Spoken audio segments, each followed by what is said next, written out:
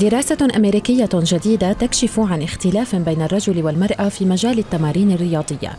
فالنساء يحرقن المزيد من الدهون أثناء فترة الصباح بينما تعد فترة المساء الأفضل بالنسبة للرجال.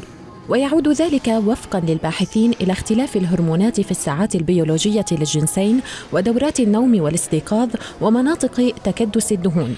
وشملت الدراسة 30 رجلا و26 امرأة. تتراوح أعمارهم بين الخامسة والعشرين والخامسة والخمسين عاما واستمرت لمدة 12 أسبوعا.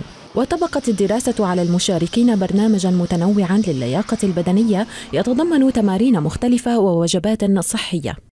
إحدى المجموعات مارست التمارين لمدة ساعة قبل الثامنة والنصف صباحا بينما اتبعت المجموعة الأخرى الأنشطة نفسها خلال المساء. ولاحظ معدو الدراسة تحسنا صحيا لدى جميع المشاركين بغض النظر عن وقت ممارسة الرياضة. أما بالنسبة لخسارة الدهون فأظهرت النتائج أنه يجب على النساء الراغبات بتقليل دهون منطقة البطن ممارسة الرياضة صباحا. بينما إذا أردنا تحسين مزاجهن وبناء قوة عضلية في الجزء العلوي من الجسم فيجب ممارسة التمارين خلال المساء. كما بينت الدراسة أن قوة الرجال لا تختلف كثيرا طوال اليوم ولكن التمارين المسائية مثالية بالنسبة للرجال المهتمين بتحسين صحة القلب والوقاية من مخاطر الأمراض المزمنة.